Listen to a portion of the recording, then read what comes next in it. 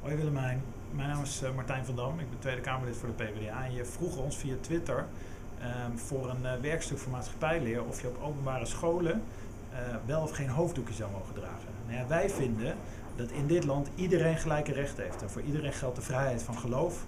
Um, en dat betekent dat je dus ook religieuze symbolen mag dragen als je dat zelf wil. Dus of dat nou een kruisje is om je nek, een keppeltje op je hoofd of een hoofddoekje, dat mag je zelf weten.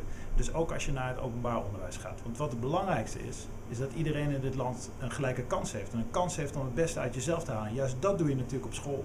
Uh, en dat is waar het uiteindelijk voor ons om gaat. Iedereen telt mee. Maakt niet uit wat je afkomst is. Het gaat om je toekomst.